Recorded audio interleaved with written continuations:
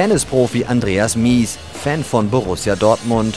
Bastian Otschipka, Spieler vom FC Schalke 04, messen sich im großen Revierderby.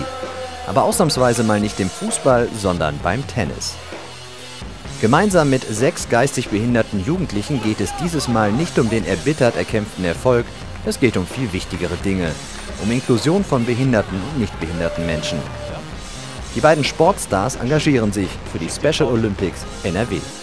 Macht mir eine große Freude, äh, da was zurückzugeben, weil, ich, äh, weil Tennis hat mir so viel gegeben in meinem Leben und wenn ich denen eine Freude damit machen kann, dass ich, dass ich mit denen im Jahr ein paar Veranstaltungen zusammen mache, dann, äh, dann bringt es einfach für alle sehr viel und es macht riesen Spaß. Seit gut 15 Jahren geht es dem Landesverband darum, dass seine Athleten die Möglichkeit bekommen, am gesellschaftlichen Leben zu partizipieren. Und dafür gibt es die Unified Sports Wettbewerbe. Beim Tennis-Doppel laufen gemischte Mannschaften auf.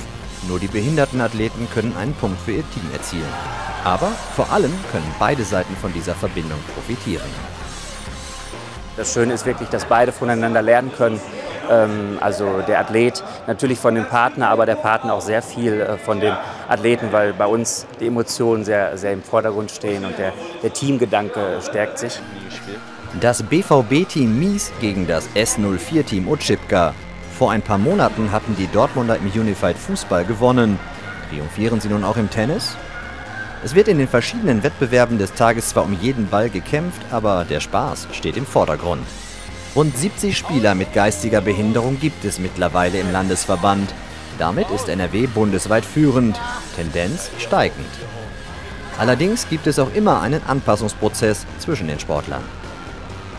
Am Anfang war es natürlich, ähm, ist man da einfach ein bisschen äh, und steht da und weiß nicht ganz, wie man mit der äh, Situation umgehen soll. Aber ich finde genau sowas sollte man dann auch ähm, aus der Sache lernen, dass es äh, für die Kids einfach das Normalste von der Welt ist.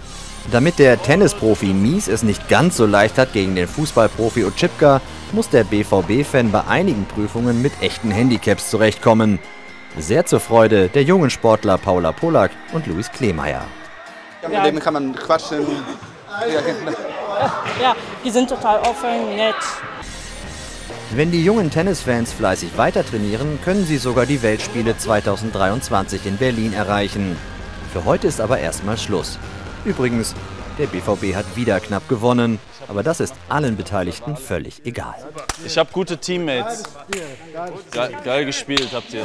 Sehr gut gespielt.